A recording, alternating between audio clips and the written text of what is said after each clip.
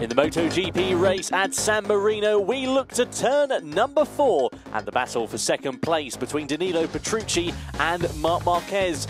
The rain really affected the grip out on circuit, however, it didn't deter Danilo as he found his way up the inside on the brakes into the right-hander. And if this was your favourite overtake from the race, vote and share it on social media using hashtag Overtake2.